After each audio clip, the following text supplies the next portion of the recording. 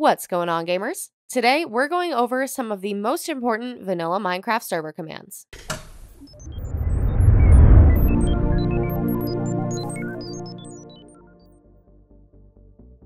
As a server owner, it's only a matter of time before you need to make the use of commands. There are hundreds of commands available in the base game, and they can do anything from changing the time of day to completely killing every mob on the server. The commands may feel like cheating at times, but more often than not, they're essential for maintaining your server and keeping your players happy. You can run a command both in-game and through your server's console. To use a command in-game, always type a forward slash and then the command and hit enter. Otherwise, you can just type the command into your server's console without the forward slash to run it. Now, let's go over a few of the most important commands that you're going to need to know about.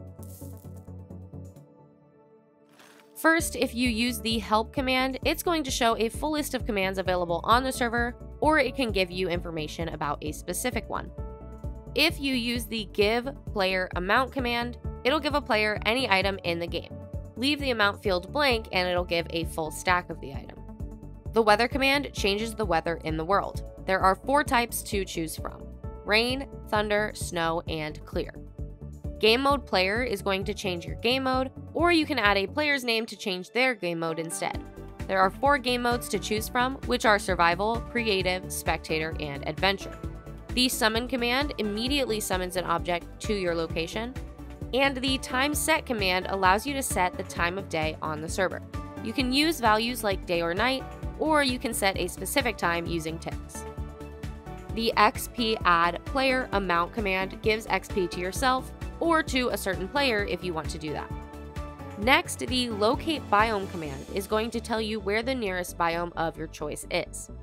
The command perf is going to run a short debug function for 10 seconds. This is going to create files for you in the server's debug folder that will give you a detailed overview of what's happening on the server, which can be particularly useful for diagnosing lag. The save all command causes the server to create an automated backup. You're limited to two automated backups at a time, so previous ones will be overwritten.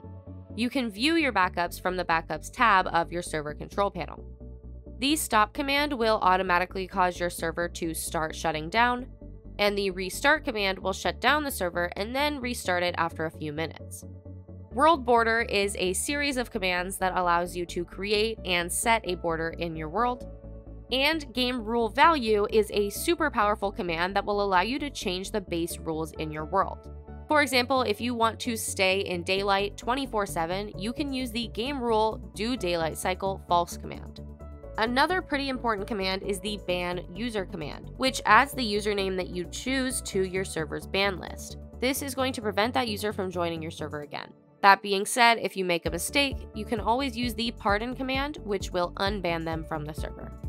The clear username command is going to remove all of the items from your inventory, or you can add a player's username and it'll remove their inventory instead. Of course, the OP command grants a user operator permissions. After using this command, the user will have access to all of the other commands on the server.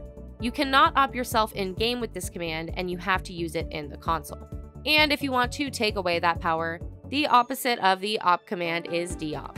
This command is going to remove operator permissions from a user. Difficulty allows you to change the difficulty of your server. There are four difficulty levels that you can use peaceful, easy, normal, and hard. And finally, the seed command allows you to view your world's current seed. If you click on the seed after it's displayed, it will automatically be copied to your clipboard. Now, before we go over some common issues, don't forget to like, subscribe, and click that notification bell to stay up to date on all of our future videos.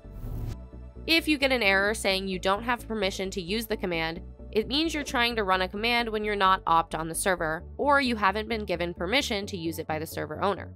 You can follow our related guide on how to opt yourself to get around this issue, or you'll have to contact the server owner to give you access. If you receive something like an invalid argument or a similar error, it's usually because there's a typo or because you're not using the command correctly. You can reference back to this guide to make sure you have the correct command and arguments added, or if you're in a later update of the game, it will automatically start filling the command for you, and you just have to press the tab key to cycle through your options. When you're a server owner, you're going to use commands eventually. So this is a great guide to get started on the most important ones that you're going to use on a daily basis. Thanks for watching. If you want to see more great content like this, then subscribe or click these videos. Until next time, gamers.